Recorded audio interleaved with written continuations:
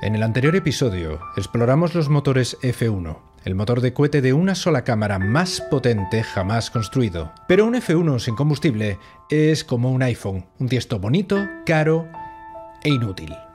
Así que para alimentar a cinco bestias capaces de consumir 13 toneladas de propelente por segundo, se necesitan unos depósitos igualmente monstruosos. Hablemos del S1C.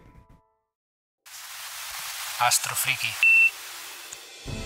El contrato para construir la enorme etapa S1C se adjudicó a Boeing el 15 de diciembre de 1961. El personal de Boeing se trasladó rápidamente al centro Marshall para trabajar con los ingenieros de la NASA en el diseño de la etapa y planificar su fabricación.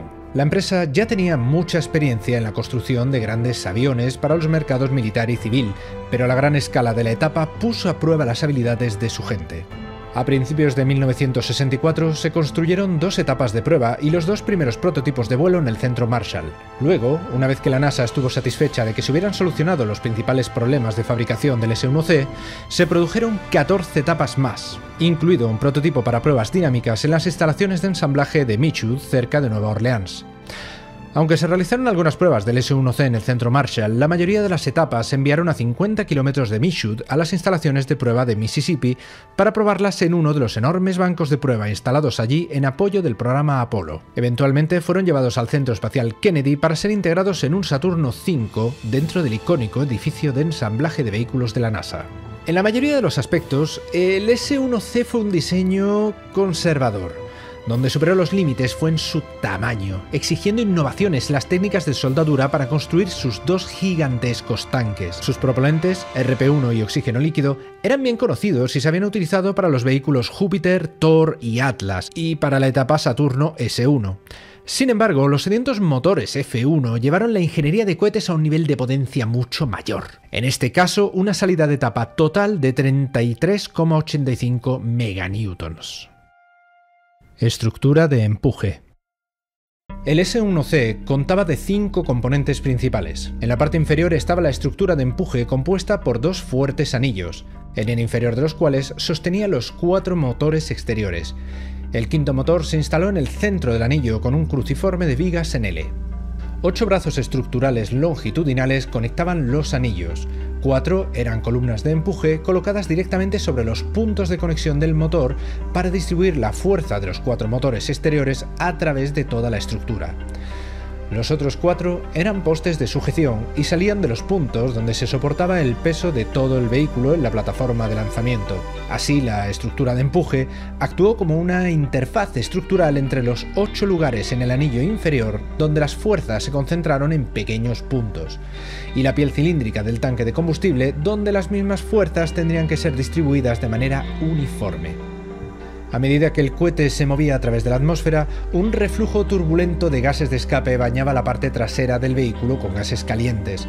Se construyó un gran escudo térmico en la base para proteger los conductos de propulsor y otros elementos internos.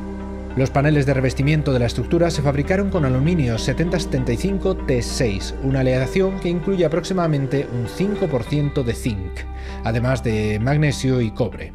Estos paneles se reforzaron con largueros longitudinales de sección rectangular añadidos a su cara exterior, lo que le da ese aspecto de patata frita. Se colocaron cuatro carenados cónicos alrededor del exterior de la estructura para proteger las toberas de los cuatro motores externos del flujo de aire. Sin esta protección, las fuerzas aerodinámicas interferirían con los actuadores cardánicos que hacían girar los motores para dirigir el vehículo. Cada carenado también lucía una aleta grande, cuatro en total, cada una recubierta de titanio, estos cumplieron el mismo papel en el Saturno V que el empenaje de un avión, el de proporcionar estabilidad aerodinámica muy parecida a las plumas de una flecha o un dardo.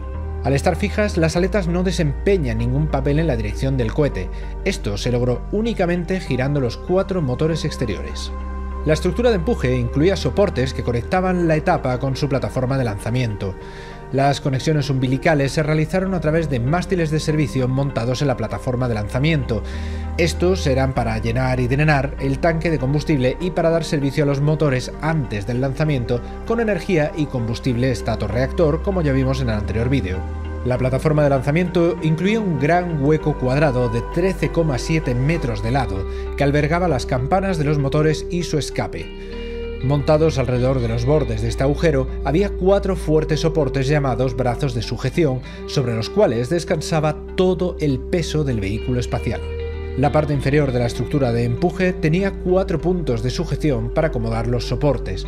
Las abrazaderas en los brazos sostuvieron los puntos de sujeción como tenazas para sostener el vehículo firmemente en su lugar durante las semanas de preparación en el VAP. Cuando llegó el momento del despegue y se verificó el empuje de los cinco motores, el mecanismo que sujetaba cada brazo al vehículo se colapsó neumáticamente, liberando así al Saturno V. Una serie de piezas cerca de los puntos de sujeción permitieron unir varios troqueles a la estructura de empuje para lo que se denominó mecanismos de liberación controlada. Cuando se soltaron los brazos de sujeción, no se permitió que el cohete saltara de la plataforma. Para disminuir el impacto de la liberación, los 15 centímetros iniciales del ascenso del cohete se vieron obstaculizados por una serie de varillas cónicas encastradas en unos tubos que aseguraban una aceleración más controlada en el momento de la liberación. Depósito de combustible. Encima de la estructura de empuje estaba el depósito de combustible que contenía unos 820.000 litros de RP1, cantidad que aumentó ligeramente a lo largo del programa. Aunque este combustible es menos eficiente que el hidrógeno, tiene una serie de ventajas como ser líquido a temperatura ambiente, almacena mucha energía en un volumen dado y por lo tanto permite tanques más pequeños y más ligeros y puede manejarse fácilmente en grandes cantidades. Y por supuesto podía proporcionar la potencia pura que se necesitaba en la primera etapa para poner en movimiento todo el vehículo. El tanque de combustible se construyó en tres secciones principales utilizando un tipo de aleación de aluminio conocido como 2219-187, que contiene aproximadamente un 6% de cobre. Es resistente al agrietamiento por corrosión bajo tensión, donde el daño causado por la corrosión se combina con la tensión mecánica para promover el crecimiento de grietas. Una pared cilíndrica de 4,9 milímetros de espesor en la parte inferior y adelgazada a 4,3 milímetros en la parte superior fue rematada por domos elipsoidales para formar el componente de 13,13 por 10 metros. Las paredes se hicieron a partir de una serie de placas, cada una de las cuales fue fresada a partir de una placa plana para incluir largueros verticales para mayor rigidez. Una vez fresadas, a las placas se les dio la curva requerida antes de ser tratadas con calor y soldadas en un cilindro. Una serie de nueve anillos o deflectores, como arandelas gigantes, corrían alrededor de la circunferencia interna del tanque para reducir cualquier tendencia del propelente a chapotear. Estos estaban unidos a los bordes internos de los largueros. Los domos se construyeron a partir de ocho grandes gajos como trozos de un pastel, cada uno hecho de dos láminas, un segmento de base y un segmento de vértice.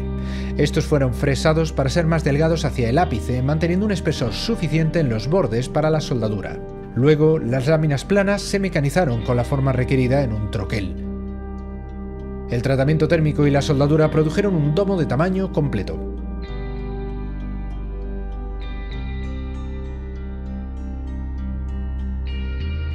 Se soldaron anillos con una sección transversal en forma de I entre la pared cilíndrica y el domo. Estos también proporcionaron un medio para unir el tanque a las secciones contiguas. Dado que el tanque de oxígeno líquido estaba en la parte superior de la etapa, los conductos que iban desde el tanque hasta los motores tenían que pasar de alguna manera por el tanque de combustible. En las etapas S2 y S4B, los conductos de tanque superior se enrutaron alrededor del exterior del tanque inferior. Sin embargo, los motores F1 consumían propulsor a un ritmo tan brutal que los diseñadores querían evitar la introducción de curvas en estos conductos porque un pliegue en la línea reduciría la presión de alimentación y provocaría un riesgo de cavitación en la entrada de la turbobomba del motor.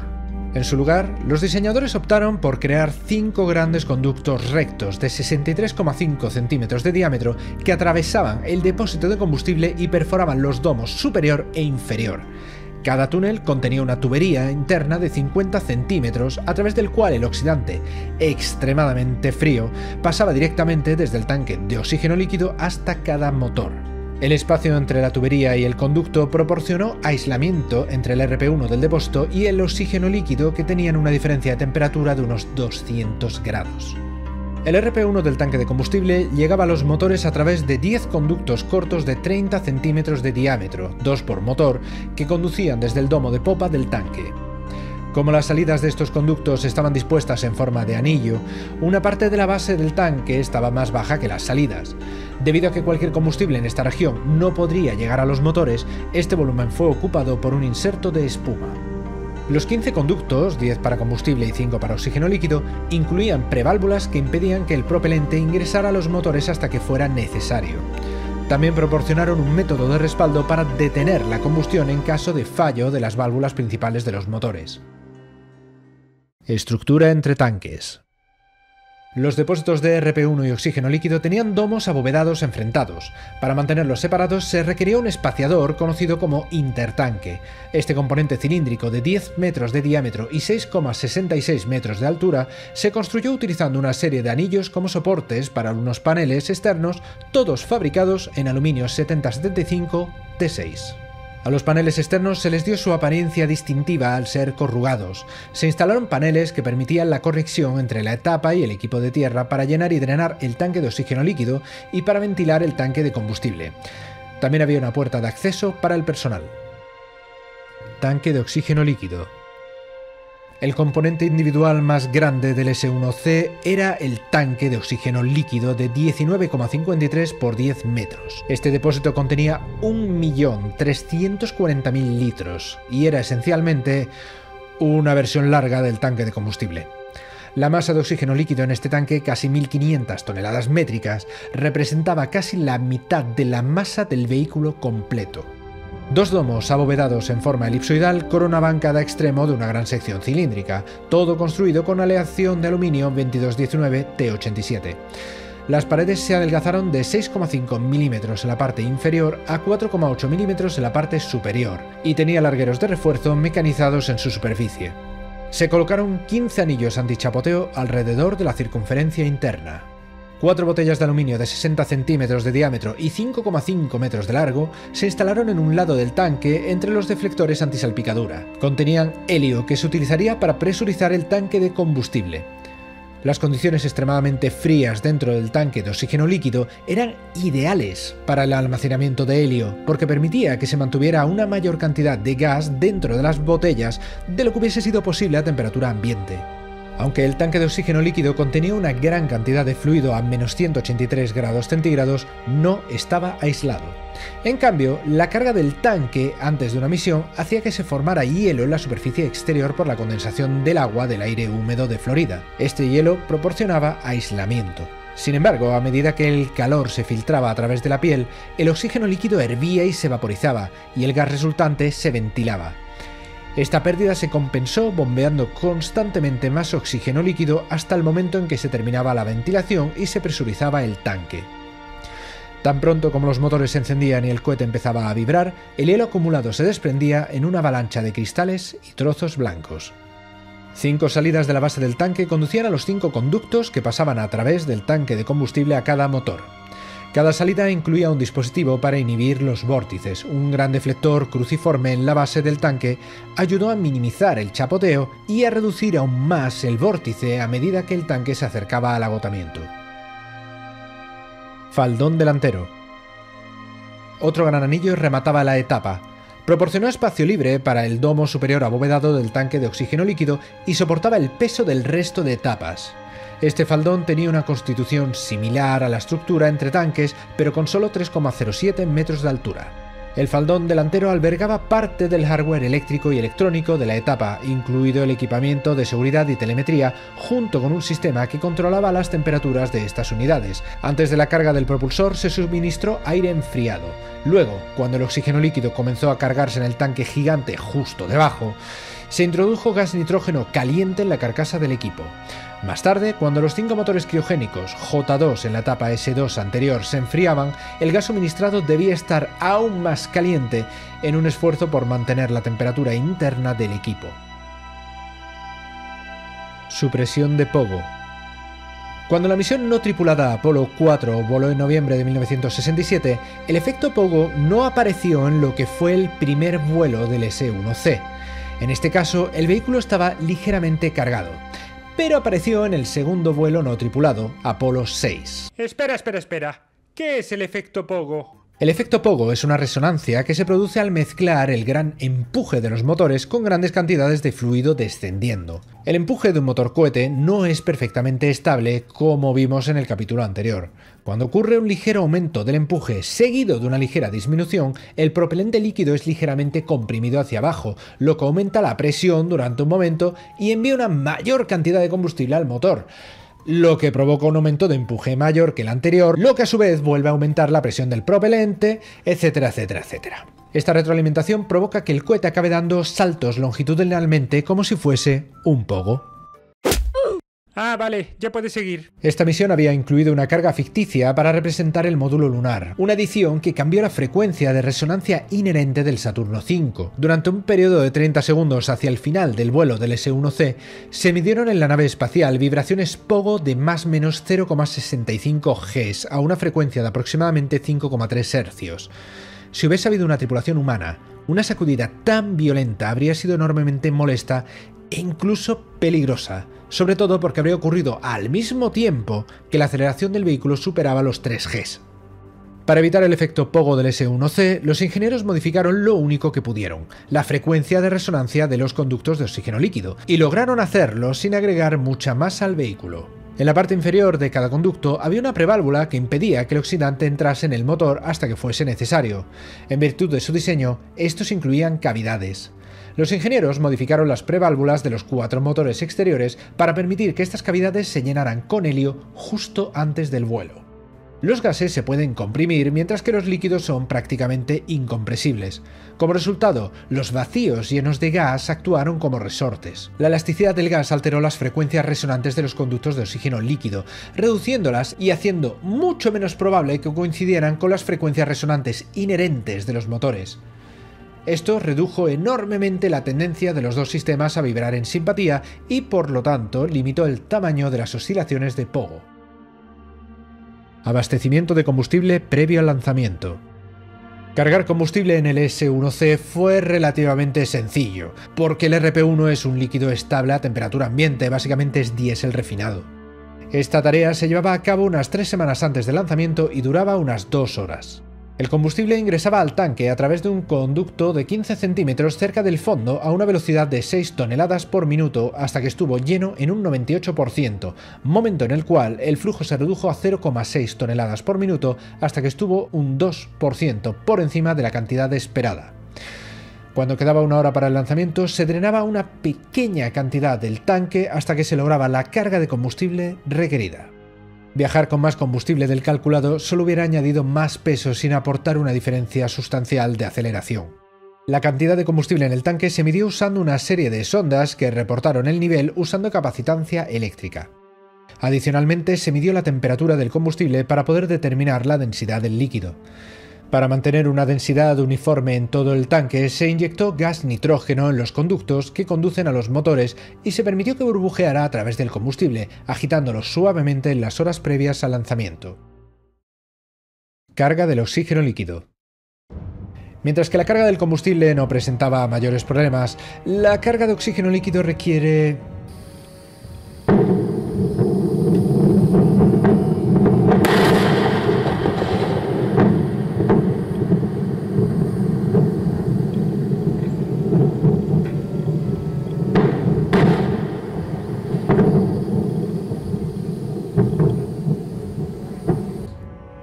más cuidado.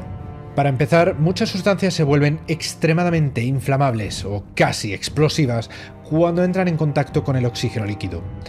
Por lo tanto, era importante que el interior del enorme tanque de oxígeno líquido se limpiara impecablemente antes de cargarlo. De hecho, las placas de aleación de aluminio con las que se fabricó se desengrasaron y lavaron cuidadosamente antes de la fabricación, este cuidado por su limpieza se mantuvo durante toda la fabricación y procesos de prueba hasta el momento en que se llenó el tanque. Una técnica que se utilizó para mantener el tanque limpio fue presurizarlo ligeramente con nitrógeno durante el almacenamiento y el transporte. Mantener una presión de aproximadamente 0,3 bares por encima de la atmósfera no solo evitó la contaminación, sino que también ayudó a que el tanque conservara su forma. Nueve horas antes del lanzamiento, el tanque de oxígeno líquido recibió una purga final con gas nitrógeno para garantizar que se expulsaran contaminantes como el vapor de agua. De lo contrario, el vapor de agua podría condensarse y formar partículas de hielo tan duras como rocas que podrían ser absorbidas por los motores. El proceso de carga comenzó canalizando el oxígeno líquido a 95 litros por segundo, un ritmo relativamente lento dado el enorme tamaño del tanque. Tan pronto como este líquido a menos 183 grados centígrados entró en contacto con las paredes del tanque, hirvió furiosamente mientras se vaporizaba. Era como agregar agua fría a una cacerola seca que había estado demasiado tiempo en el fuego. Sin embargo, se continuó agregando líquido frío y gradualmente la temperatura de la estructura cayó hasta que el oxígeno permaneció líquido en el fondo. Cuando el nivel en el tanque alcanzó el 6,5%, el oxígeno líquido empezó a bombearse a más de 600 litros por segundo. Durante 45 minutos o más, el nivel subió y las paredes calientes continuaron provocando la evaporación.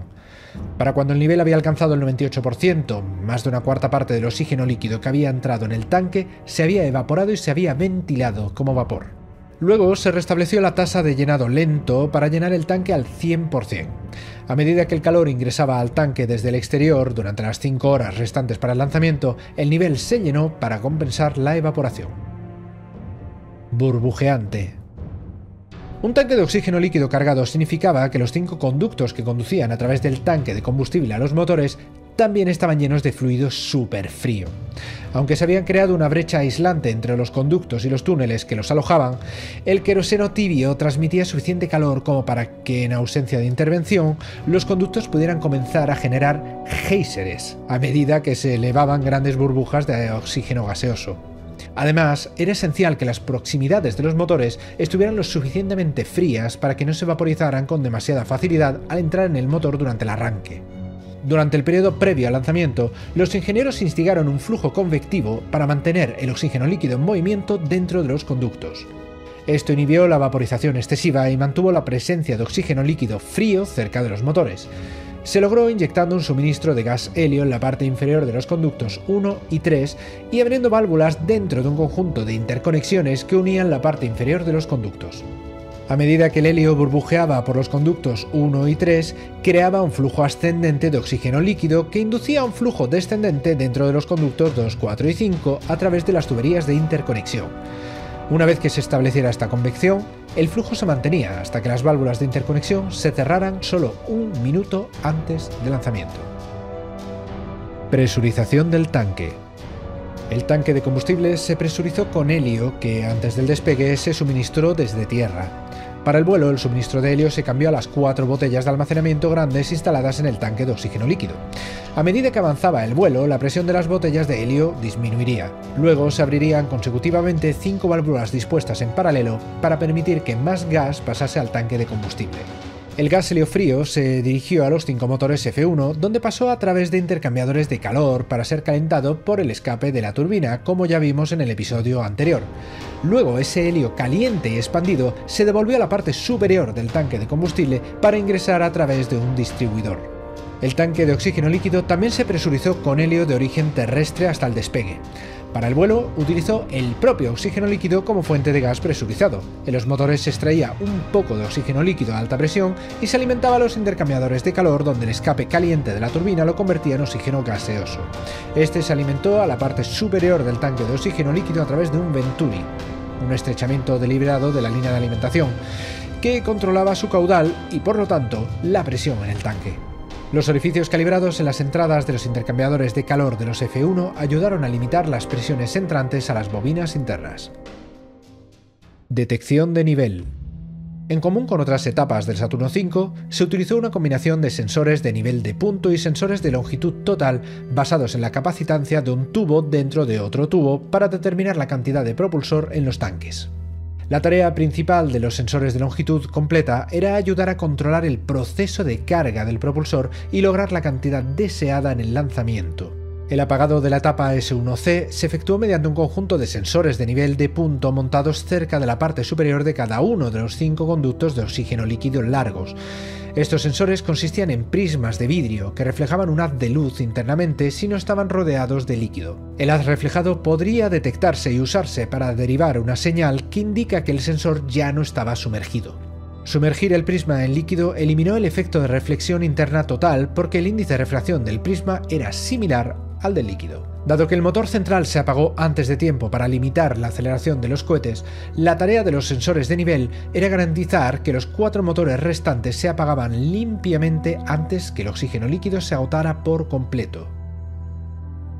¿Cómo destruir un S-1C? Como fue requerido por la Fuerza Aérea de los Estados Unidos, que era responsable de la seguridad pública de todos los lanzamientos desde el área de Cabo Cañaveral y de una porción del océano hacia el este, el S-1C se diseñó para permitir que fuera destruido en vuelo si llegase a desviarse excesivamente de su trayectoria planificada. El objetivo era dispersar los propulsores en la atmósfera mientras el vehículo aún estaba en vuelo, para evitar una etapa pesada con tanques esencialmente llenos que impactase en áreas pobladas. Esto se lograría con nueve tiras de explosivos de 2,2 metros conocidas como cargas lineales flexibles.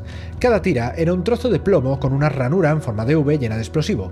La ranura dirigiría la onda de choque de la detonación a la piel, vaporizándola para cortar aberturas longitudinales en las paredes del tanque por orden del oficial de seguridad de campo a través de un sistema de comando por radio redundante. Es decir, que había más de uno por si uno fallaba. Se montaron tres tiras en el tanque de combustible en un lado de la etapa y seis tiras en el tanque de oxígeno líquido en el lado opuesto.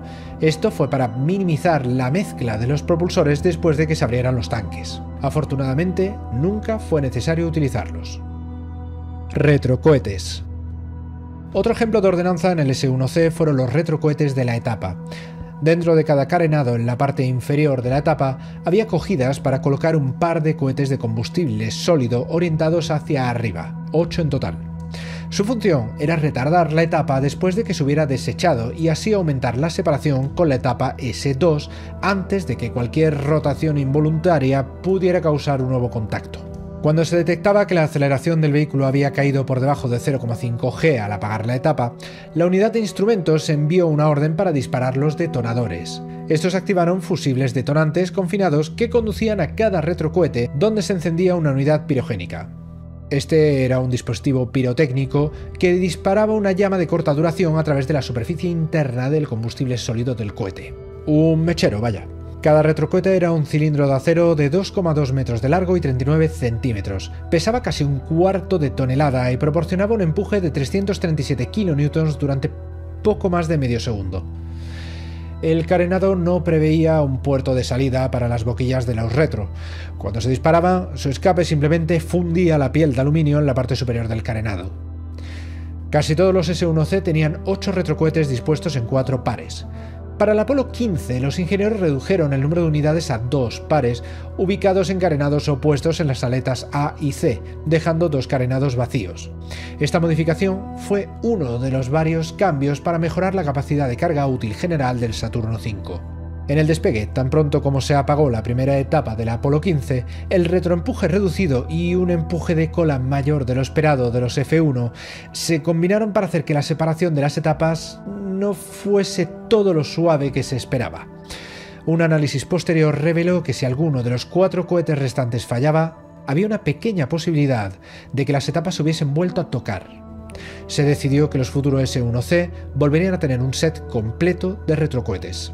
Tanto en ejecución como en operación, el S1C fue una bestia de máquina y un triunfo de la excelencia en ingeniería en la creación y control de enormes fuerzas. Ver su enorme tamaño o contemplar las campanas de los cinco motores en su extremo de popa ya era bastante impresionante, pero presenciar su furia lo era aún más. Sin embargo, fue solo el comienzo del espectáculo que era un lanzamiento de Saturno V. Las etapas superiores necesitaban una fuente de energía mucho más eficiente y la obtendrían en forma de hidrógeno. Pero esto lo veremos en el próximo vídeo. No olvides suscribirte y activar la campanita para saber cuándo lo publico. Y hasta entonces, levanta la vista al cielo y sé astrofriki.